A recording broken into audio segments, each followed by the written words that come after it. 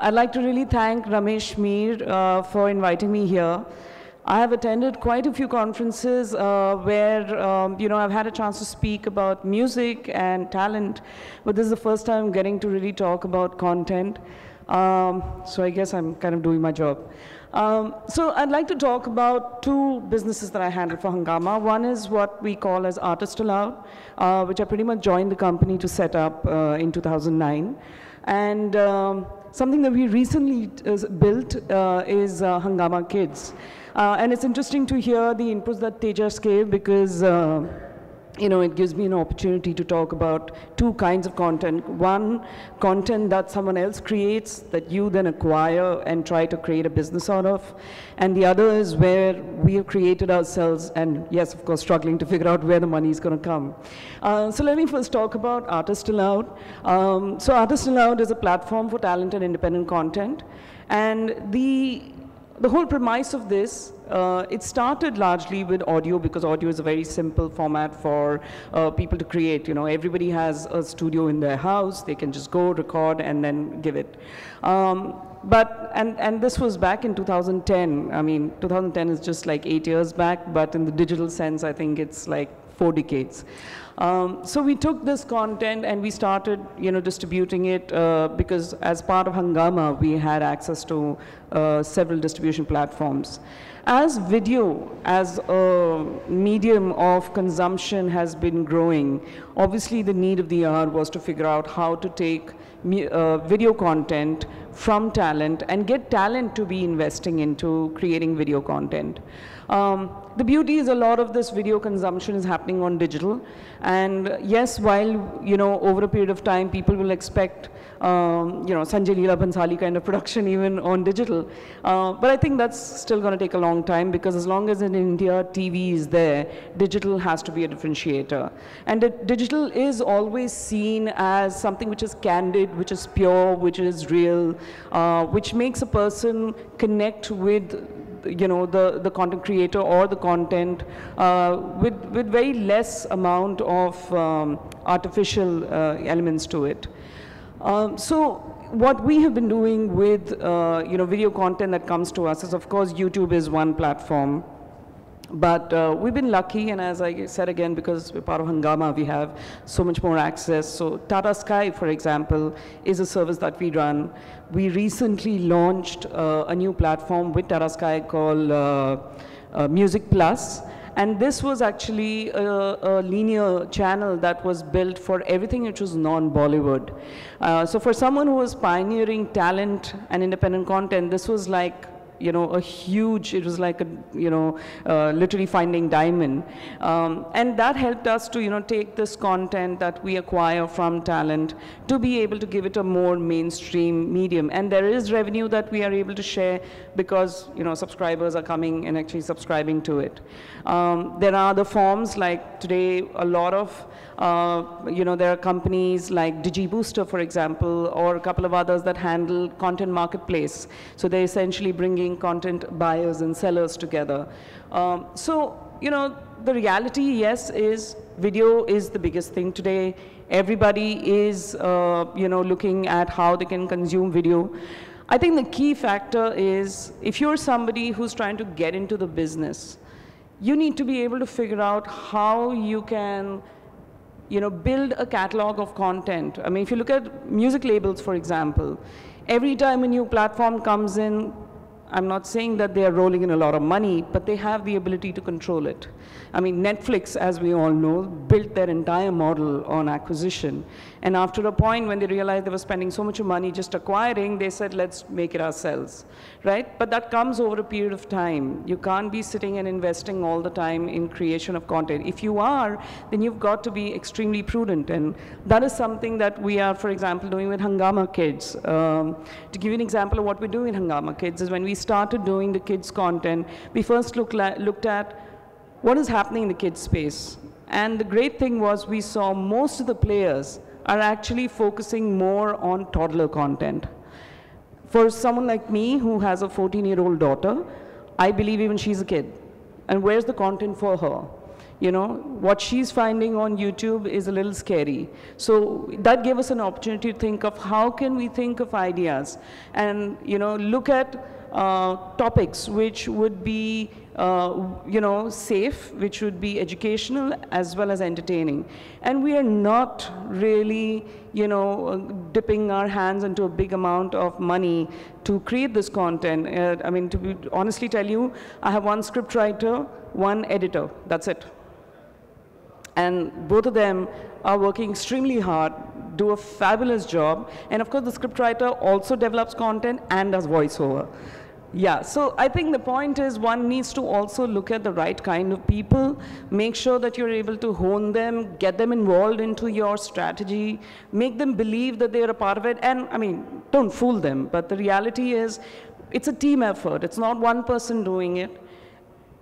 I won't say that the money will come. I mean, I'll give you, again, coming back to Hungama Kids, we have been creating content every day from August every day, five days of the week, there is content. So we, the, the strategy we've used is there's uh, Monday 0 to 2 years old, uh, 2 to 5 on Tuesdays, 5 to 10 on Wednesdays. So every day of the week, we've broken the kids of 0 to 18 into five age groups.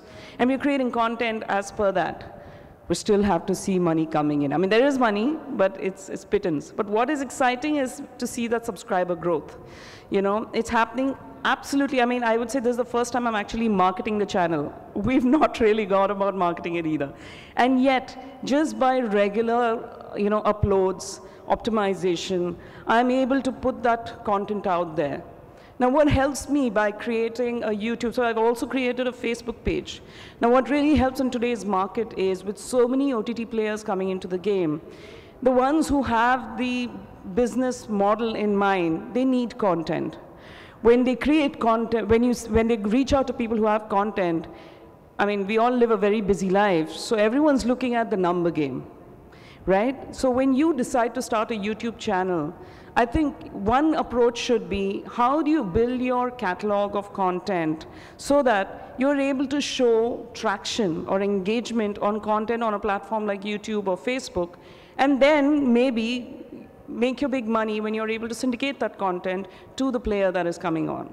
So it's, you know, there is no um, one route to it. There are multiple models that one can look at. Um, if you're a content player, you obviously depend on other uh, platforms that can help you monetize it. If you're somebody who's planning to get into creating a platform, you need people who already have content with them.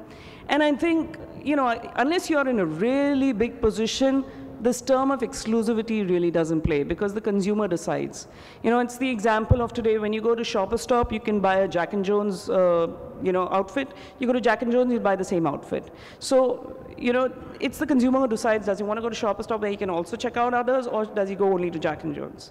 So as a content creator, you need to, if, so if you're walking into the content space, you need to figure out uh, if it, I mean, there are, so there are two stories here. One is, are you a talent yourself and you want to put yourself out? You know, how prudent can you be? What are your starting points? Um, we are here as a platform. I mean, again, I'm doing a little marketing of what we do, but Artist Aloud can be one of the avenues, and we as an aggregator then can take the content into all our distribution partners.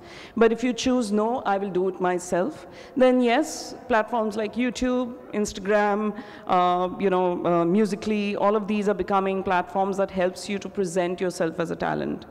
When it comes to you creating content on concepts and ideations, I think again it's very important to see how you can keep your initial investments as low. Quantity is going to matter over a period of time because when you are trying to go and do a syndication deal, it comes down to numbers. I'll give you another example. When we decided to launch the Tata Sky service of Music Plus with Hungama, the structure was very simple. Tata Sky was going to come in and give the entire infrastructure and the bandwidth. Hungama was responsible to bring in the content and keep it, keep constantly serving it. The biggest, I would say, effort was to go back into our library and count how much of content do we really have. You know, now this has nothing to do whether it's Hungama or Tata Sky. I mean, it doesn't matter. Those are just examples. You could be the next Hungama, or one of you could be the next Tata Sky. You know, if you have content, you are then able to be, uh, you know, uh, and it is a long, it is a long tail game to start with. So it is very important to think of things in the long uh, plan. You know, don't expect to put in money now and see returns immediately. Uh, at the same time, it is not something that you feel, a con karega, you know, too much time. You've got to be very clear, you know, if you, if you want to do this, you've got to start uh, in a very systematic manner, stay focused, don't get into a scene of saying, wo to kar raha hai. Everybody has an approach or everybody has opportunities which may or may not come to you. I think it's very important to survey who all are the players that you can reach out to. If you want to create content yourself, get the right team, get an intelligent team, get a team who will think with you, work with you. Um, that's the best I can say. But I think the beauty is um, more and more players are coming into the game. Uh, you know, when you look at the telcos, for example, they are figuring out how to retain their subscriber base, and hence they are offering video services. YouTube, of course, as we all know, is you know, struggling to stay alive, uh, but they'll stay alive. They, I mean, it's Google. I don't think they're going anywhere. Um, Netflix, there has been models of people making content and then Netflix buying it off, or even Amazon for that matter. Hungama Play uh, is a part of the Hungama video service. Um, there have been, you know, uh, conversations happening there. Every model, I mean, Sony, Live, Voot, there are a lot of players. I think, I mean, I'd like to actually ask, how many of you here are content creators? Okay, that's a great number. And um, I know you wouldn't want to share this, but do you end up spending a lot creating content? I mean, how many of you believe in the prudent approach? Okay, that's one out of so many. Now, I was asking that uh, how, how many believe, uh, are the people who said that they create content, how many believe that, you know, you need to be prudent when you start?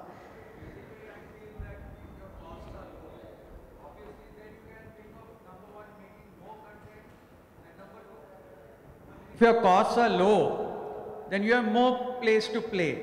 Correct. You can make more content, number one, and number two, with that low cost, if at all you're earning, you have a better scope of earning a margin. It's basically the financials that you work out with. Correct. So and if you start with a budget, yeah. I mean, if you say, yes, this is a budget, and I want to do it within this budget, then you can do it. Sometimes you overstep the budget. Sure. But then sure. you are within a range of plus 10, 15%, that's all. Yeah. No, and I, I, agree, you know, a lot of you all must be getting in your mind that agar chota budget hai, to fir quality and you know, if you don't get good quality, then what do you do? I remember like when I was working with Channel V, we used to have record labels coming with us. So shuru mein when they used to make videos on digibeta or 16mm chal jata. Then we started putting 30 second or 60 second bollywood uh, songs. And we said boss this comparison with the trp gir jayegi. Hum nahi baja sakte. So you know we didn't care how the re record label was actually going to be able to figure out how to spend on that you know. But it was not our job. Our job was to you know be the media I think in today's market, one has to be able to look at, and it's, it's literally come down to the case of the glass half full or half empty, right? I look at it as half full because you really have an opportunity to work on so many different formats. It's come down to actually quality of content, not quality of um, of course, visuals do matter, but I think also what's happened is that because costs have come down and the quality of cameras have improved, you know, people are able to make some really great content with, you know, uh, without having everybody to go into a 35mm format.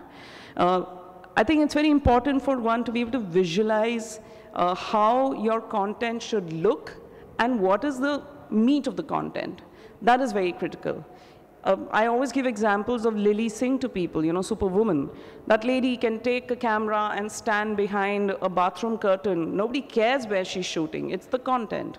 And it's the packaging. That, all of that. So again, it comes down to the right team, smart team, a team that thinks with you. Uh, you know, you, you may be the one thinking of it from a business point of view, but if you don't have a good creative team with you, um, content is all about creativity. And it's not about how much you spent on it. It's not about, uh, you know, uh, if everything looks like Switzerland. No, if you're able to really connect, every content today, even if you're on a Netflix, if it's not social, it's not going to work. You know, there have been shows like 13 Reasons Why or, uh, you know, Mad Men or any of this. You land up binging on these shows because you see something of yourself in it or you relate in it. And that stands true for a one hour show or a five minute clip. It doesn't matter. You know, so I think, eh, I mean, so my, my whole point here is before you start figuring out how do I make money out of this content, which we all need to do because if we don't do that, we can't have a business and then we can't go back home and feed our children and our families. But I think that the point here is because we have to think of that, we need to think of how can we do things smartly, prudently, intelligently, and surf the universe before we jump in and say, okay, मैंने तो content बहुत बढ़िया बना दिया, अभी कोई taker नहीं है. You know, so you got to identify who are the players that you need to re reach out to, which are the players that you can work on a DIY format, and which are the players that, you know, you could come on board, bring on board as partners.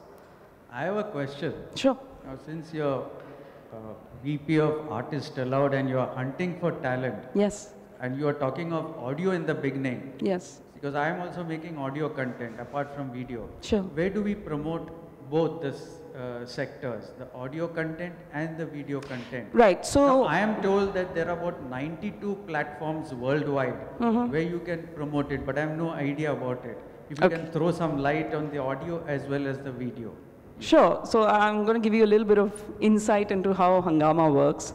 Um, so uh, talking about what we do with talent, uh, the, the whole premise is we're not getting into the creative aspect. We assume that the talent knows what they're doing. And we come on board once you have created that content. And the, the point here is not saying, oh, you know, they don't want to come into the production stage. I believe that the moment somebody comes in and invests into the creativity of a content, he's going to ghusao into it and say, boss, nahi, aise nahi chalega. And then where's the independence in it, right? So it is very important for, uh, for us when we started the business and it still continues to be that, that we want the talent to retain their freedom of expression.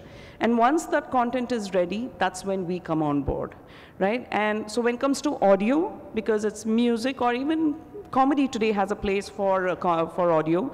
Um, you know, we have platforms like Hungama Music, we work with Wynk, uh, Airtel, Jio Music, um, as I said, and Tata Sky is video, of course. Uh, coloring back tones, you know, all of these avenues are available. Uh, Apple, iTunes. So, you know, we work as an aggregator in that model. And when it comes to video content, obviously, again, we work with the platforms on the basis of uh, us being able to uh, take that content into wherever the platforms serve video. Um, most of the models are, in fact, a revenue share structure where the uh, talent makes a higher percentage because obviously you've invested into making that. Uh, and then we work to get, well, it is, uh, it's not generally very fixed, but in most cases it's 70-30, 70 favoring the talent. Um, so, you know, for us, when we started off, obviously music was, as I said, the easiest format in terms of content format, and hence, being audio, we were able to start with music. It's been eight years, we're still stuck with music, and I think there's a lot more music to still be done, but we're also trying to get into comedy and poetry and other forms. Uh, we've in fact launched our own app where, you know, an artist can actually record using the app. But uh, once the artist uploads through the app and gives it to us, then we further aggregate it through platforms. So it's kind of an acquisition route again. Um, so this is, this is uh, completely in the case of a talent creating his own content. Uh, we don't go in, I mean, we have created some content IPs of our own, like, you know, studio uh, concerts, uh, which has not been a commission, it's our own IP, which again, we then try to monetize. I mean, I'll, for example, the Tata Sky, uh, you know, channel uh, was able to start because we had all of this content. So when you as a content creator think of creating content, I think today is the best time to own IP. And I know sometimes, I mean, we've also faced that, ki yaar, IP rakhe kya fayda? Paisa to ban raha hai. But you never know. And that is why, again, it comes back to when you're building that IP, be smart, be, uh, because, see, brands and sponsorship is all great to hear, but I don't think today, and I hope there are no brands and sponsors here, but rea realistically speaking, I really don't know what sponsors want. You know, I think if it doesn't come from the brand manager, they're not interested. So you may try everything under the sun, uh, thinking you've got the best idea, the best integration idea, but if the guy sitting across doesn't buy it, he's not going to really care. He's only interested in numbers because that's what his boss told him, and his boss's boss told him, and that's all that matters, right? So it is, um, you know, sitting here, you may be wondering that, is there hope? I think there is hope if, one, you're ready to do this in the long game. Second, you're ready to do it hence because you think of long game in a very smart and economical manner. Economics is always going to play in this for you to be able to sustain it. And the more and more players get into it, competition is going to grow. I mean, if you look at even the playback scene today, there was a time you could recognize people's voices. आज तो पता नहीं चलता कौन गा रहा है. Google में करके पता करना पड़ता है कि this guy sang it, you know. And so there are, there's, there's the, as I said again, from a, half, from a glass half full point of view, everybody has a chance. But from a half empty point of view, how do you get yourself out there? You know? So I don't know if I've really been able to put across something, uh, but you know, if there are any questions, you can. Oh, it was so clear. Any questions? Please. Okay. Can I meet you later and discuss? Yes, of course, sir. Of Yeah. course, sir. Of course. Yes. Any other questions? Over there. Yes. Yes. Sorry. Is Hungama a platform for videos for children? Or is it only for songs? No, it is actually, so, okay, let me explain this. So on YouTube, we run Hungama Kids, but there is a video OTT platform called Hungama Play that uh, has all kinds of content. You know, there's kids, there's comedy, there's films, there's TV serials, there's all of that, just like you would see on Hotstar or anything else. So yes, if you have, um, you know, content that uh, you uh, would like to, you know, put out, um, I can meet you outside and give you my email ID. I'll have to put you on to a colleague of mine who handles that part, but at least I'd, I'd love to do the connect. Just a quick question. When you put it up on Hungama, whether it's Play or Kids or whatever, is this exclusive?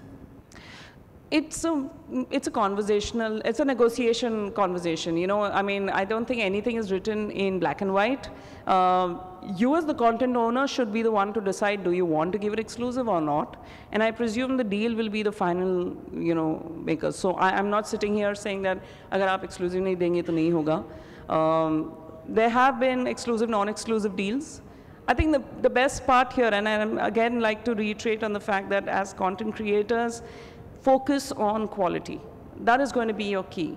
If your quality is go and you know, I know it's tough because we are creating content for Hungama kids, and we have a lot of people who care. अरे ये तो होता है, ये तो है already YouTube में, इसमें क्या अलग है?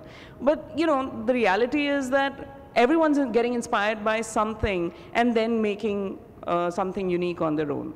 You know, so you will, you've got to be convinced. It's like when they say when an artist performs on the stage, if he's not enjoying, the fans are not going to enjoy. So I think that premise works across any format.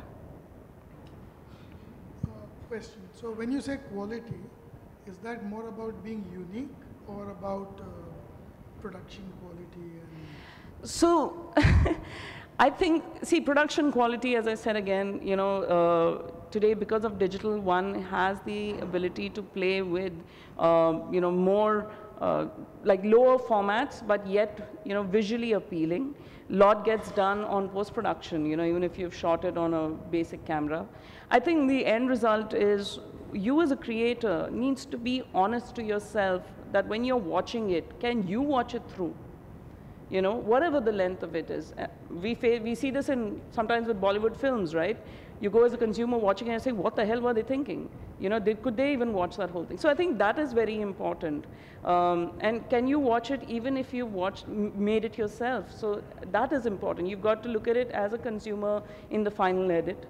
Uh, quality in, in uh, I would say, starts with the you know, the scripting, the, the actual meat of what the content is, and then finally visually how are you able to put it out. you know? Uh, that comes in terms of like if you were to break it down sometimes they say digital content is a lot about split screens. You know uh, you see that difference. Of course now you, you have that even happening on tv award uh, shows you know a lot of split screens. But that was very typical to digital content you know where you, people would uh, another thing that i say and i see my editor also doing this is on digital every frame needs to be a different frame. You know every frame needs to have a different imagery you cannot, you have to have that sense of vibrancy and, you know, it has to move quickly because it's so easy for the guy, yaar, ye shot to aage nahi ja.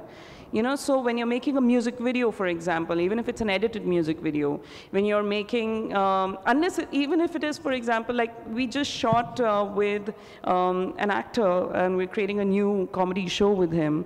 Um, so, you know, we've been working on the post-production now where it came, came to laugh, uh, you know, the laugh track or musical sounds. You can keep playing with it, you know. You, you'll, you will not be able to say that, I know, you know, somewhere you have to put a stop and say, "Okay, ab iske upar aur edit kaam nahi ho sakta hai. But I think one has to keep looking back at the content that you're creating, every video, every episode that you put. Maybe once you've made it, play it to a couple of people and see the honest reaction. Don't give any background to it because that is very important. You have to be aware your consumer is extremely fickle. He has a lot of options. If he has to, uh, you know, come back to you, you've got to make it. And even if it doesn't happen in the first 10 videos, let the first 10 videos be your conviction. By the 11, 12, 13, maybe even 15th, you'll finally have hit gold. And then you will be able to serve the consumer as per what he wants. You know, I mean, when you watch a lot of these, I've, I've seen a lot of shows recently, like on Netflix. Sometimes, you know, by the sixth or seventh episode, you feel, what the hell is happening? Like, personally, I don't know how many of you have watched Orange is the New Black. Okay? I couldn't finish it because I just felt it's just unnecessarily explicit you know, for what? What are you trying to show? But then I saw a show called Mad Men and I couldn't put it down till it was done. So it depends, you know, I think sometimes the, I always say a creator's job is the worst because you've got to be different every time. Uh, but, you know, the quality, I think at the end of the day is a mix of it, yeah, it's not yeah. so much the production quality, it's more. No, no, yeah. I mean, you, you have to put some effort towards the quality of production. People can see that today, they're smart enough but you don't have to go all hog on that. Thank you. Thank you so much.